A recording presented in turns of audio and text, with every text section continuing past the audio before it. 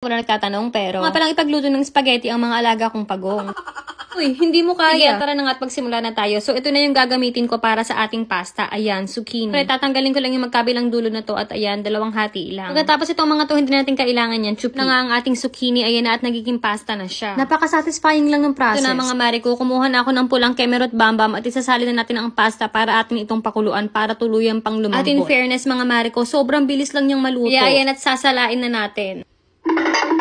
Paki-edit na lang sa inyong mga kaisipan ng tumutulong tubig, Mars.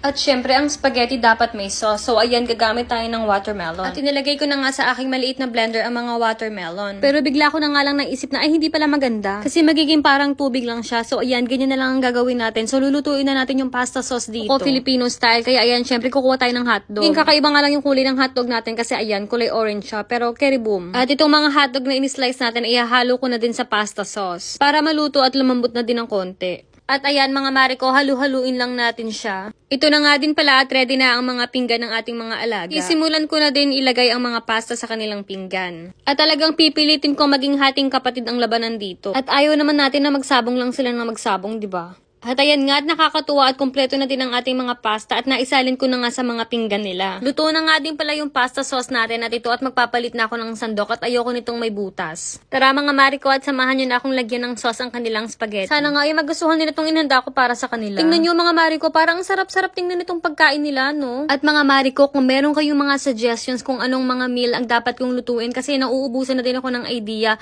mag-comment ka dyan Mars at pag-iisipan ko talaga yan para magawa natin at tingnan natin kung matutuwa sila Tortoli. At ayan mga maliko, natapos na nga natin ang kanilang spaghetti at sana talaga magustuhan nila to. Medyo kinakabahan ako kasi medyo maaardi ang mga alaga natin. Naku mga mare, teka at kulang nga pala ng cheese. Buti na lang naalala ko. Alam kong masarap talaga yung Eden cheese sa spaghetti, no? Buti na lang talaga may mga leftover pa ako dito. Ayan, meron pa pala natirang Eden cheese. At ito na mga mariko, tinatrabaho ko na yung cheese natin dito para mas maging masarap ang ating spaghetti. At ayan na nga at lumit na nga ng cheese at medyo kinakabahan na ako. Hindi pa ako nakakagat ng mga alaga ko. Baka naman ito madali ang aking daliri.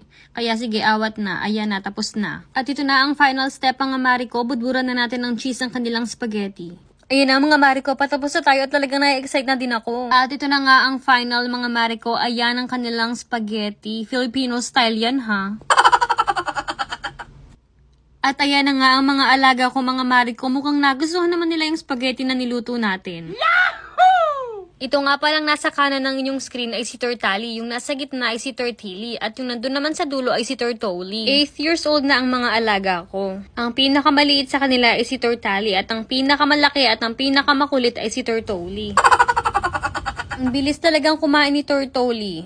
Si Tortilli talaga ay pabebe kung kumain. Ili, kuha muna ako ng konting pasta, ha? Tortilli, bagong palit ng battery yarn. Bago pa nga niya kainin ang pagkain ng kanyang mga kapatid ito at nilagyan ko na nga muna yung pinggan niya ng lettuce. At syempre, nilagyan ko na din yung kay Tortali at kay Tortilli. So, ayun mga mari ko, mukhang nagustuhan naman nila yung niluto ko. Naman kaya ang lulutuin natin sa susunod. At yun lang muna for today's vlog. Thank you for watching mga mari ko at huwag kalimutan mag-comment, like, and share.